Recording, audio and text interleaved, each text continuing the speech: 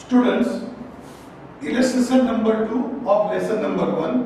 Question is, atom of element B forms HCP lattice and those of the element A occupy two-third of tetrahedral void. What is the formula of the compound formed by the elements A and B? मतलब ये illustration to illustration one जैसा ही है वहाँ पे x और Y element थे यहाँ पे बी और ए एलिमेंट है यहाँ बी एलिमेंट कौन सी लेटाइस अरेंजमेंट करता है एचसीपी और ए कहाँ पे बैठा हुआ है? टेट्राडेलोइड में। और उसका कितना पार्ट ऑक्यूपाई किया बोला है? टू थर्ड पार्ट तो दोस्तों, आगे वाले न्यूमेरिकल रिव्यू मैंने बोला कि सबसे पहले हमको एज्यूम करने का क्या? नंबर ऑफ़ ऑक्ट्राइडल ये स्टेटमेंट लिखी देने का नंबर ऑफ़ ऑक्ट्राइडल एन अब चेक करो बी और ए एलिमेंट है। उसमें कौन सा एलिमेंट एचसीपी सीसीपी और एफसीसी में है?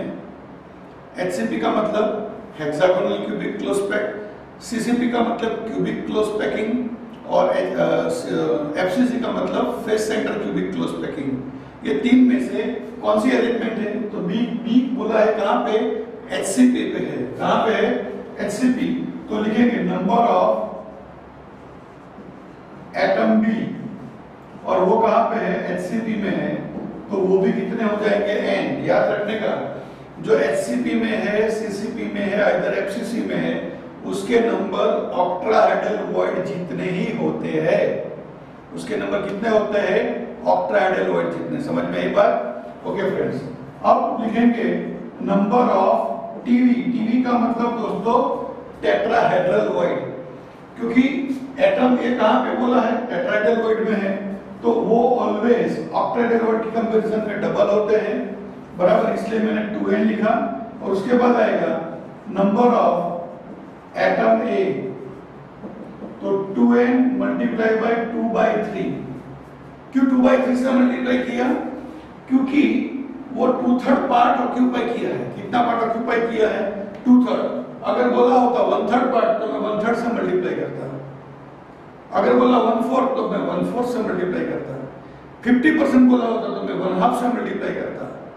सेवेंटी फाइव परसेंट बोला होता तो मैं थ्री बाई फोर से मल्टीप्लाई करता। समझ में आ रही बात? ओके अब हम लिखेंगे क्या? A is to B A हो गया आपका four N by three multiplication two two four four N by three और बी है आपका एन ये एन एन कैंसिल हो गया।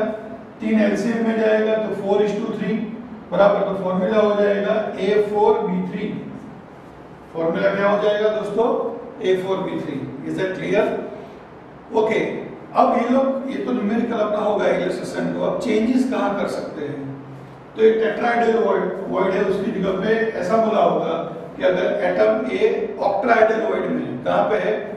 तो यहाँ टीवी की जगह पे मैं लिखता, वापिस वो भी लिखता एन और नंबर ऑफ़ एटम है टू एन की जगह पे एन से मल्टीप्लाई करता तो ये हो जाता है टू एन बाई थ्री बराबर? तो आपका आंसर क्या होता है? ए इज़ टू बी में हो जाता है two N by three is two N N N cancel तो टू इज़ टू थ्री तो फॉर्मूला हो जाता ए टू बी थ्री तो दोस्तों, आपको डिसाइड जजमेंट लेके डिसाइड करने का है कि कौन सा आइटम कहाँ पे है।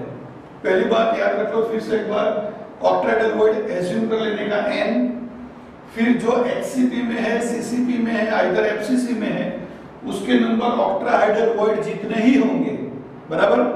और फिर देखने का कि दूसरा एलिमेंट दिया है वो कहाँ पे है? तो यहाँ पे बोला था एटॉमिक टेट्राडेलोइड में था तो टेट्राडेलोइड एज्यूम कर लिया 2n डबल होगा इससे, बराबर? और फिर नंबर ऑफ़ एटम में बोला था टू थर्ड पार्ट ऑक्यूपाई किया तो मल्टीप्लाई बाय टू थर्ड से किया 2n मल्टीप्लाई बाय 2 3 और फिर सिंपलीफिकेशन करके मैं आंसर लाया। अगर यहाँ पे चेंजेस करते हो लोग चेंजेस कहाँ कहाँ कर सकते हैं? तो टेट्राइडल की जगह पे ऑक्टाइडल दे तो उसके हिसाब से आगे जाने का। टू थर्ड की जगह पे वन थर्ड भी बोल सकते हैं वन फोर्थ भी बोल सकते हैं वन हाफ़ भी बोल सकते हैं। तो जो चेंज की है वो हिसाब से आपको आगे बढ़ने का रहेगा दोस्तों। Is clear friends thank you very much